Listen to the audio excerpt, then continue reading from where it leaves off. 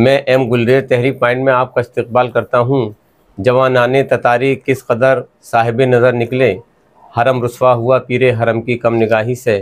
Nadine तहरीक point के इस video में हम अकलीती कौंसिल ऑफ़ इंडिया के कौमी सदर आली वक़ार जना फ़रत उस्मानी साहब से अभी हाल ही में जो जमीतुलमा हिंद के सदर हैं महमूद मदनी साहब ने जो इंटरव्यू में अपने ख्याल का इजहार किया था जिसमें उन्होंने बहुत सी इस तरह की मुतनाज़ जन दिए हैं, जिसको लेकर अहले इस्लाम के दिल को मैं समझता हूँ कि तकलीफ़ हुई है। और उसी सिलसिले में हम चंद सवाल लेकर के फ़रज़ उस्मानी साहब से जानना चाहेंगे कि उनके ख्याल किस तरह के हैं। तो आइए हम उनसे मुलाकात करते हैं। फ़रज़ उस्मानी साहब, आपका तहरीक पॉइंट के वीडियो में हम इस्तकबाल करते हैं। हम पहला सवाल आपसे ये करते हैं कि अभी हाल ही में जो जमतुलमा हिंद के कौमी सदर हैं महमूद मदनी साहब ने, जो इंटरव्यू में कहा है, हम चाहते हैं कि एन लागू हो। और ये भी कहा कि इतिहादुलमसलिमिन के जो सदर हैं ओवैसी साहब, उसके, उनके सिलसिले में भी ये कहा कि हम उनकी सियासत से डिसएग्री करते हैं। तो इस तमाम चीज़ों को लेते हुए हम आपसे सवाल जानना चाहेंगे कि आप उन्होंने जो इंटरव्यू दिया है उससे आप एग्री हैं या डिसएग्री हैं? तहरीक पॉइंट के डायरेक्टर भाई गुरले साहब पहले तो मैं आपका शुक्रिया अदा करूँ। करना चाहूँगा कि आप मेरे पास यहाँ आए मेरे दफ्तर पे आए और मेरा इस सिलसिले में ख्याल को जानने की कोशिश की। महमूद मदनी साहब का जहाँ तक सवाल है, उनका जो बयान है एनआरसी के बारे में, उससे हमारा, मैं खुद और मेरी जो सोसाइटी है अखिलती काउंसिल ऑफ़ इंडिया, वो इतफाक़ नहीं करती। इतफाक़ ही नहीं करती, हम उनके बयान के कंडम करते हैं। बस अभी उन्हीं के जमतुलमाए हिंद के एक ज़िम्मेदार का बयान आया था कि महमूद मदनी साहब ही वो हैं जिन्होंने जमतुलमाए हिंद को दो हिस्सों में तकसीम कर दिया। एक के वो खुद सादत बढ़ गए और दूसरे धड़े के अरशद मदनी साहब हैं, जो उनके चचा भी हैं।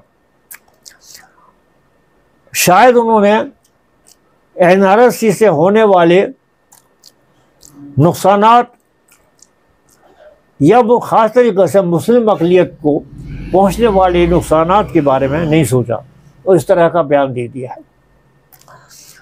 ये कतन हमारे फेवर में नहीं है, कौमी फेवर में भी नहीं है। पता नहीं वो, उन्होंने उस बात को पूरा पढ़ा है नहीं पढ़ा कि एनआरसी का मतलब क्या है। एन के मतलब को समझने के बाद अगर वो समझते तो इस किस्म का बयान न देते। बहरहाल अकलीती कौंसिल और बजाते ख़ुद उनके बयान को को कंडम करता हूँ। और हर मुसलमान अंजुमन और नादिशान के हेड से गुजारिश भी करूँगा कि बगैर सोचे समझे कोई बयान न दें जिससे कि कौम को नुकसान पहुँचने का अंदेशा हो। फरज साहब जब से इस मुल्क के संविधान पर कॉन्स्टिट्यूशन पर या आइन पर ज़ाफ़रानी रंग चढ़ा है तब से अकलीतें ख़ास तौर से मुसलमान जो है, परेशान हाल है।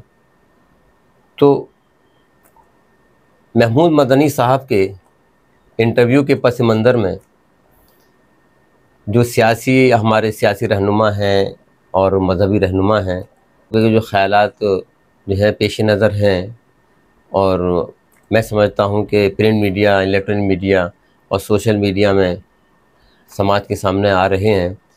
उनके ख्याल से लेकर के उनके बयान से लेकर आप किस हद तक एग्री करते हैं गुल्ले साहब खुद देवबंद के उल्मा और फारग तहसील लोगों ने ये इल्ज़ाम आयद किया है कि महमूद मदनी वो शख्स हैं जिन्होंने जमीयत हिंद को दो फाड़ों में बांट दिया अच्छा। अगर वो थोड़ा सा मसाले तामीर अपनाए होते तो जमयतुलमा हिंद जो है वो आ, दो हिस्सों में तकसीम न हुई होती तो जमात उलमा हिंद के जो मुआज़ हजरात हैं ख़ास तरीके से देवबंद की जी। जो देव देवबंद से ताल्लुक़ रखते हैं वही इनकी इन्हें इन्हें सदर तस्लीम नहीं करते और ये अपना अलहदा ग्रुप बनाए हुए हैं।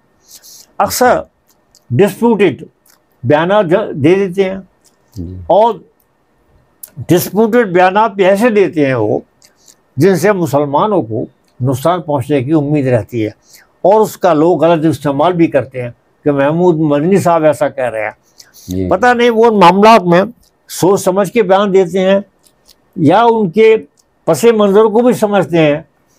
जो बयान दिए हैं उन्होंने उसके क्या असरात होंगे और किस तरीके से मुस्लिम दुश्मन अनासर जो हैं हम्म, उससे फ़ायदा उठाएँगे। जमयतुलमा हिंद का जहाँ तक सवाल है ख़ास तरीके जमयतुलमा हिंद क्यों कहूँगा मैं। वैसे तो पूरा देवबंद इस, इस पे कि इन्होंने आज़ादी की जंग में भी अलहदा मौक़ अपनाया था। जी। और मुसलमानों के जो मसाइल थे जी। उसे असरअंदाज करते हुए नेशनल थ्योरी कायम की थी इन्होंने। अगर ये उस वक्त ही मुसलमानों के आने वाले हालात को जो आज हैं अपने सामने रखकर अपने सियासी लाएमल तैयार किया होता तो हालात कुछ दूसरे हो सकते थे। बेशक बेशक। लेकिन इनका सियासी मज़हब से ज़्यादा सियासी नज़रियाती हामिल हैं ये लोग। जमीतुलमा हिंदी की बुनियाद जो है 1919 में शायद रखी गई है। तो मैं आपसे पूछना चाहता हूँ कि अठारह सत्तावन के बाद से कांग्रेस बनी और फिर 1906 में जो है मुस्लिम लीग की भी बुनियाद पड़ी थी। उसके बाद से जो सियासी कश्मकश रही है, और उसी दौरान जो है, मैं समझता हूँ उन्नीस सौ उन्नीस में जो है जमीतुलमा हिंद की जो बुनियाद डाली, पता नहीं किस नज़रिए से डाली थी तो ख़ास तौर से बिलखसूस मदनी ख़ानदान का जो है जमीतुलमा हिंद में शामिल होते हुए, उनका तब से लेके ताहाल, सियासी मौक़ उसका, उनका क्या रहा है इस मदनी ख़ानदान का? ये इनके बयान में तजाद तो रहा। जी। जैसे ये अभी मैं एक साफ़ बात कर रहे थे तो अरशद मदनी साहब का जवाब सुन रहा था। वो कह रहे थे कि भाई हम मजहबी लोग हैं। सियासत से हमारा कोई मतलब नहीं है। जबकि हकीकत ये है कि इनका शुरू से ही मजहबी तो हैं साथ साथ सियासी भी रंग है इनके ऊपर।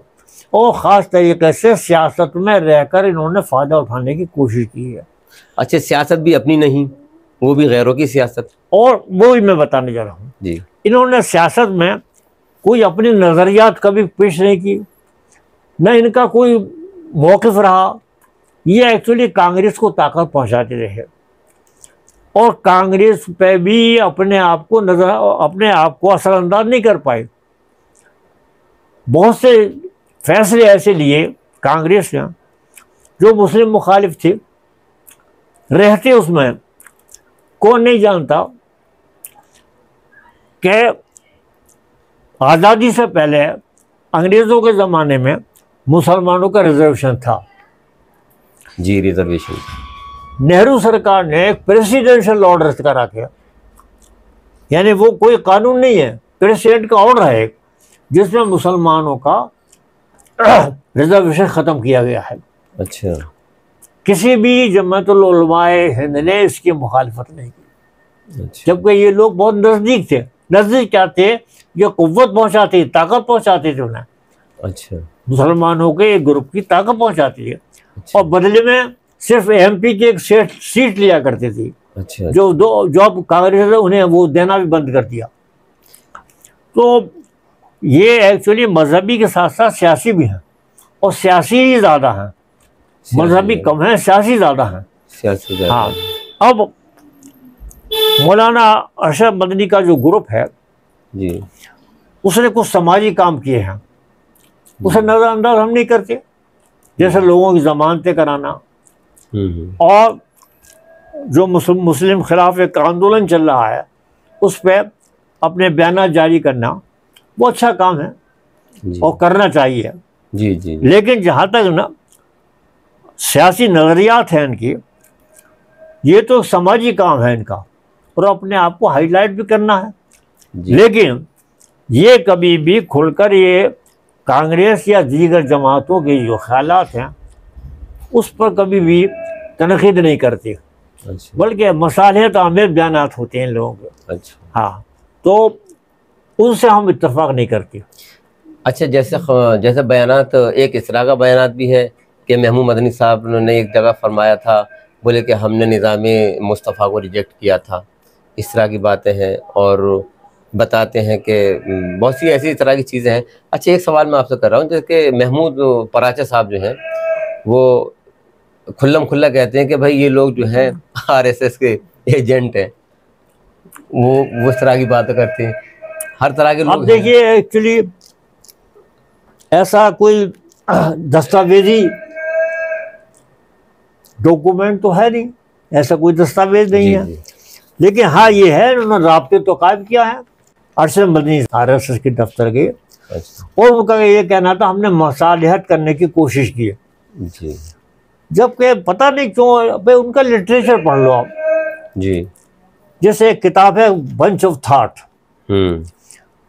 वो इनका धार्मिक मतलब पार्टी का आरएसएस का मजहबी डॉक्यूमेंट है वो। उससे वो मुनहरफ हो ही नहीं सकते। जी। और हमेशा ये लोग जो है आरएसएस की चाल में ऐसे सीधे लोग आ जाते हैं। और हमारे उलमा भी गए। लोग कहते हैं जैसे एक आलिम में बाद में एक सवाल जो आप पूछे हैं तो मैं बता सकता हूँ। एक साहब है दानश्वर मुसलमानों। के जी।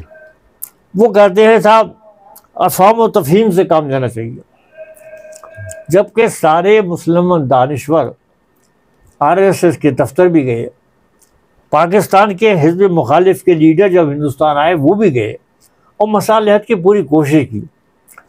लेकिन कभी भी आर एस एस अपने मौक़ पर जो उन्होंने है, उससे इधर उधर नहीं हुआ। हालाँकि बहुत सी दफ़ा बदले भी हैं। बहुत सी दफ़ा मौक़ भी बदले उन्होंने। लेकिन जो ख़ास तरीके से उनका मौक़ है कि मुसलमान जो है वो बाहर से आए हुए हैं। हम्म। कभी तो कहते हैं कि भाई ये हमारे भाई हैं। लेकिन अपनी जो शा- शाखाएँ उन पर कंट्रोल नहीं करते। सबको मालूम है कि जो भी जो हिंसक तशद में घटनाएँ हो रही हैं उसमें सब में इनके कार्यकर्ताओं का हाथ है। बयान तो देते ही लेकिन उन पर कंट्रोल नहीं करते। तो इनकी करनी और आ, सोच में तजाद है भाई। अब मतलब ये है हर मुसलमान चाहता है क्योंकि उसे मालूम है कि अगर कोई तशद के हालात पैदा होंगे तो मुसलमान का नुकसान होगा। कौन नहीं जानता? मुसलमान ज़ाहिर से ज़ाहिर जानता है। जी जी। लेकिन इसे क्या करें कि आप शुरुआत कर रहे हैं मस्जिद के पास से ढोल बजा रहे हैं अगर आपका कौन सा खलल आ जाएगा अगर दो मिनट के लिए अजान हो रही है खामोश हो जाए तो ये जो है जमयतुलमा हिंद ख़ास तरीके से और कासमी लोग भी कहूँगा मैं। जी।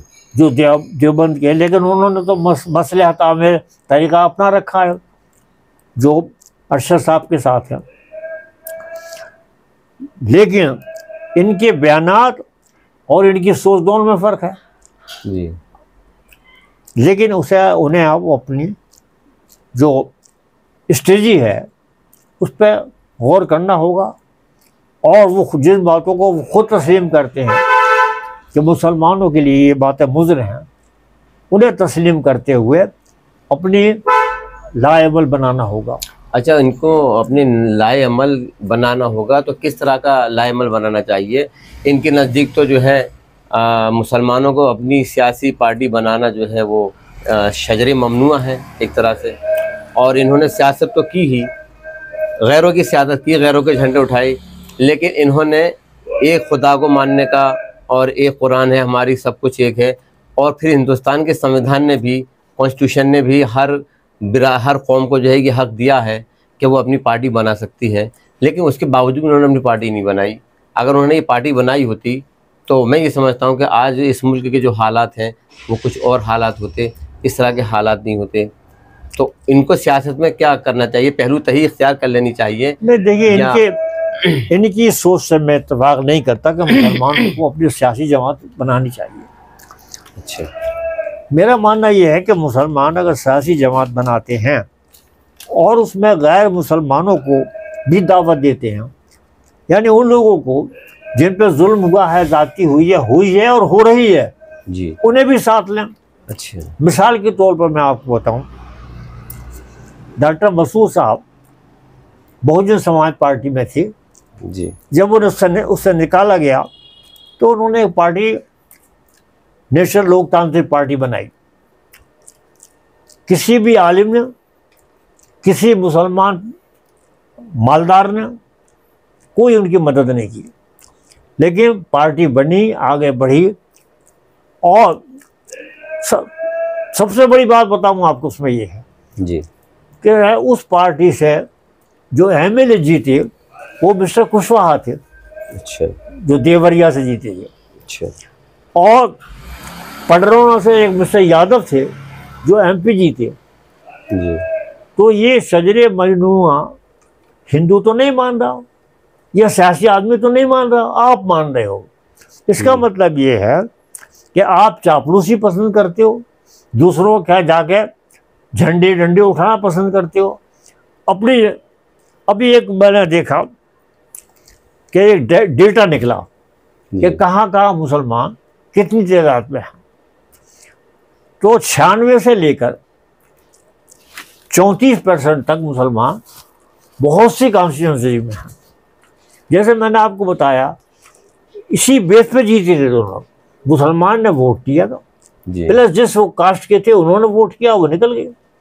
मुसलमानों भी ऐसा किया होता तो उस वक्त पचास एम एल निकल रहे थे। एन एल पी लेकिन साथ में दिया खातर उलमाओं ने साथ में दिया। साथ में भी। पता नहीं उलमाओं को क्या परेशानी है ये सोचने में कि मुसलमान अपनी पार्टी बनाएगा तो नुकसान हो जाएगा। भाई आज कौन सा नफ़ा हो रहा है? दूसरी बात ये अब देखिए जाटर समाज ने या बल्कि दलित समाज ने कहिए पूरे ने बहुजन समाज पार्टी की शक्ल में जब एक पार्टी बनाई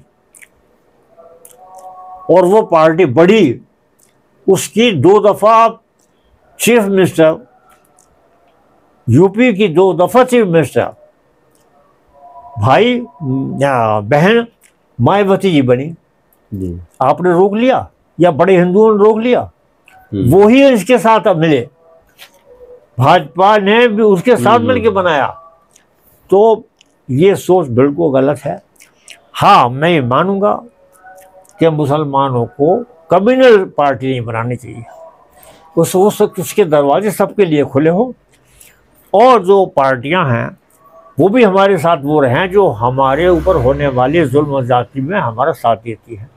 जी। मुस्लिम पार्टी बनने में कोई हर्ज नहीं है। मुसलमानों की पार्टी का सिर्फ़ मतलब यह है कि उसका चेयरमैन मुसलमान है। लेकिन आगे जाकर कोई दूसरा भी हो सकता है। उससे आगे जाकर दूसरा भी हो सकता है। जैसे नेशनल लोकतांत्रिक पार्टी में बहुत से और दारान जो थे वो नॉन मुस्लिम थे। हम्म। और वो बाकायदा सारी बातें वो वही बोलते थे जो पार्टी का मैनिफेस्टो था उसी में तकरीर करते थे। तो ये सोच गलत और बेबुनियाद है कि मुसलमानों को अपनी पार्टी नहीं बनानी चाहिए। बनानी चाहिए। बनानी चाहिए अच्छा। और बनी हुई हैं। अच्छा फरत भाई। उन्हें सपोर्ट करना चाहिए हाँ, अच्छा ये आप जो जैसे आपने फरमाया कि बनाने चाहिए उनकी सोच गलत है कि वो नहीं बनाते हैं। तो मैं ये समझता हूँ कि अगर ये जमीतुलमा हिंद जो है मैं समझता हूँ कि शुरू से अलीगढ़ तहरीक से दूर रही है ये। अगर इसने अलीगढ़ तहरीक को समझा होता तो हो सकता था कि उनके जहन में ये बात आ जाती। कि भाई मुसलमानों की भी अपनी पार्टी होनी चाहिए। जो अलीगढ़ तहरीक है एक बहुत बड़ा काम रहा है। जितना बड़ा काम अलीगढ़ तहरीक ने मुसलमानों के लिए किया इतना तो कोई कर ही नहीं पाया। जी। मुझे अभी मैं किताब पढ़ रहा था एक उसमें देवबंद के ख्यालात के आदमी ख़ास तरीके शायद कासिम नानोतवी ने जी। एक अपना कासिम भेजा भेजा सर सैयद के पास। अच्छा। और उनसे कहा कि उनसे ये कहो कि मैं आपसे मिलना चाहता हूँ। यानी कासिम नानोतवी सर सैयद मिलना चाहती है। अच्छा। ये शेर जो है जो मैं बता रहा हूँ अभी पढ़ूँगा। अच्छा। ये सर सैद की सवान हयात जो है जो हाल ही ने लिखी है हयात अच्छा जावेद हयात जावेद। उसमें दर्ज है पढ़ लें कोई भी। अच्छा अच्छा। सर सैद ने उस काशिद की बड़ी खातिर की शरबत पिलाया। अच्छा। तो उनके बड़े ख्याल बदले उनका यार हम तो सोचते बड़ा कट्टर कस्म का आदमी ये तो आप बेहतरीन आदमी शरबत भी पिलाया खातिर भी। की अच्छा।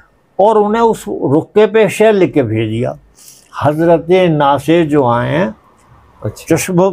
चश्म चश्मरा कोई बताओ कि वो बताएँगे क्या? क्या अच्छा अच्छा। कोई बताओ कि समझाएँगे क्या? हम्म, वो क्या समझाने आ रहे हैं मुझे?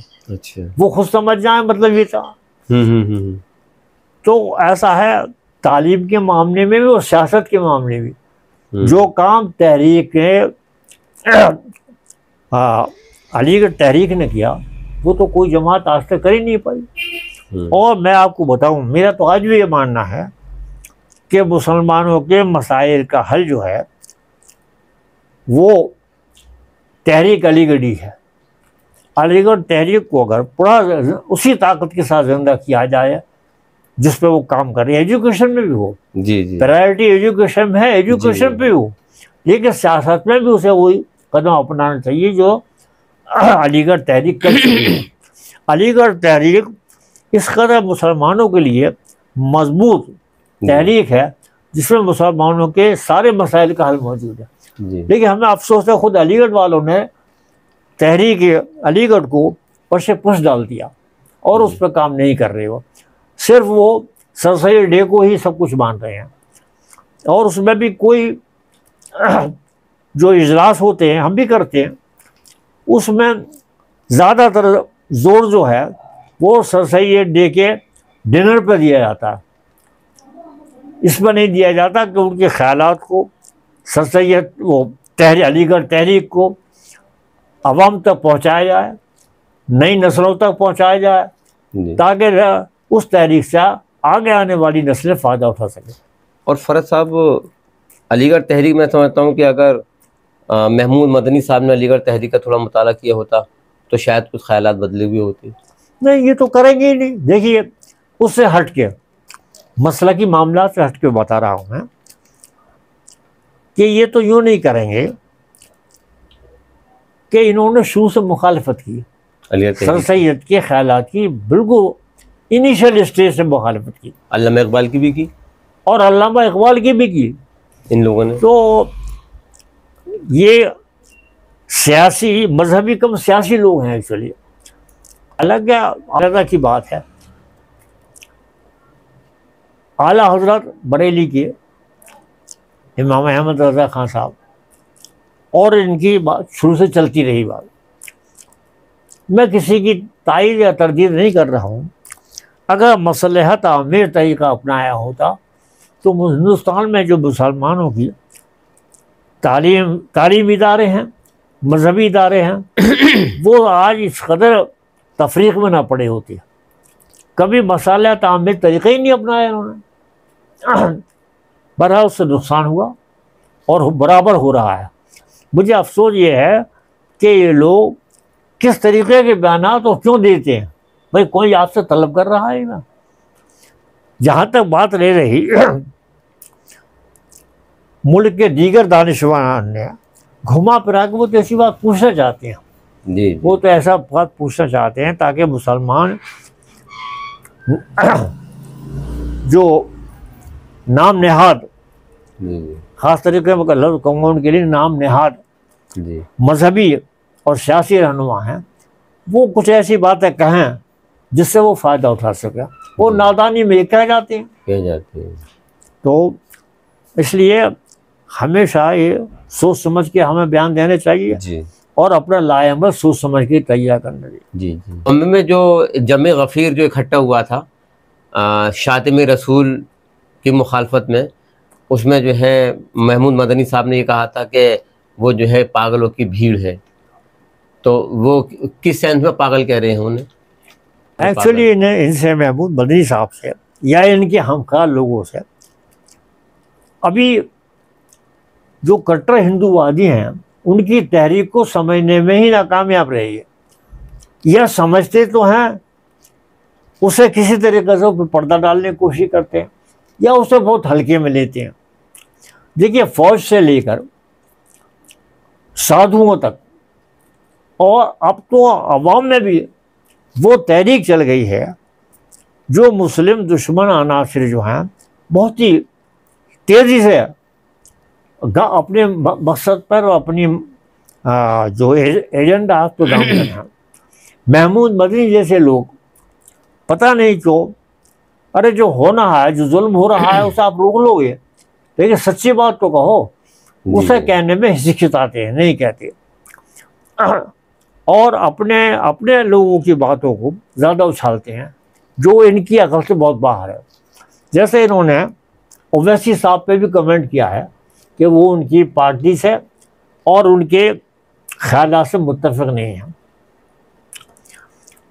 मैं पार्लियामेंट की कई बहसों में मैं शरीक हुआ। शरीक हुआ मीन्स मैंने देखी अपने हक पे। और उनके अंदाज तक खताबत जो है उससे भाजपा के लोग भी असरअंदाज हैं। जी। अभी किसी मसले पर हमारे होम मिनिस्टर साहब अपना बयान दे रहे थे। उन्होंने देखा कि ओवैसी साहब मुस्करा रहे हैं। तो अपनी तकरीर के बीच में वो ये कहते हुए देखे गए। अब देखिए मेरी बात पे ओवैसी साहब जो है मुस्करा रहे हैं। हम्म, इसका मतलब ये वो समझे कि ये समझ रहे हैं मेरी जहाँ भी कुछ गलती है वो यही समझ रहे हैं। बस दूसरी बात ये है कि बेस्ट पॉलिटिशियन का बेस्ट एम पी का स्पीकर इन द पार्लियामेंट का वो इनाम पा चुके हैं। फहरिस्त की लिंक पर नंबर एक पर रहे हैं उन्हें हिंदू नहीं हम ही लोग मुतासर बन के पेश कर रहे हैं। जी। जबकि वो मुसलमानों की नहीं डाउन ट्रेडेड कुचले हुए जिन पर जुल्म हो रहे हैं सबकी बात करते हैं भाई। हालाँकि मैं उनकी पार्टी में नहीं हूँ लेकिन हकीकत ये है और रोज़मर्रा की ज़िंदगी में आप देख रहे हैं। हम्म, मुसलमानों के जो नेता हैं ये इन्हें तो चिड़ ये है कि अगर इस किस्म के निक, लोग निकल आए तो हम जो है कहीं के नहीं रहेंगे। हमारी दुकानें बंद हो जाएँगी। इसलिए ये वैसी जैसे लीडर को उभरने नहीं देते कभी। हम्म, और उनकी मुखालफत उतर आते हैं। और महमूद मदनी साहब से पूछा जा सकता है भाई आप क्यों इतफाक नहीं करती? क्या मुसलमानों पे हो रहे जुल्म के बारे में न बोलें? क्या दीगर जो और कौमें हैं उन पर होने वाले मजाले पर न बोलें? क्या जो जाटवों पे अभी एक लड़की का हाथरस के पास कहीं मर्डर भी हुआ है उस पर ना बोलें। उस पर आप आप बोलो फिर। आप भी नहीं बोलते और दूसरे को बोलने भी नहीं दे रहे। तो इन लोगों के करने और सोच में बहुत बड़ा फ़र्क है। बहुत शुक्रिया आपका। नाजरीन ये थे अकलीती कौंसिल ऑफ़ इंडिया के कौमी सदर जनाब फरज उस्मानी साहब। जो अपने ख्याल का इजहार कर रहे थे। बहरहाल इस शेर के साथ महमूद मदनी साहब की तरफ़ मंसूब करते हुए कि मिले खैरात में अहदा तो फ़ौर दौड़ मत जाना, यही एक भूल कायद से क़्यादत छीन लेती है। नाजिन, अगर आप हमारे तहरीक पॉइंट चैनल पर नए हैं तो सब्सक्राइब करें, शेयर करें और साथ ही अपनी कीमती मशवरों से हमें नवाजें।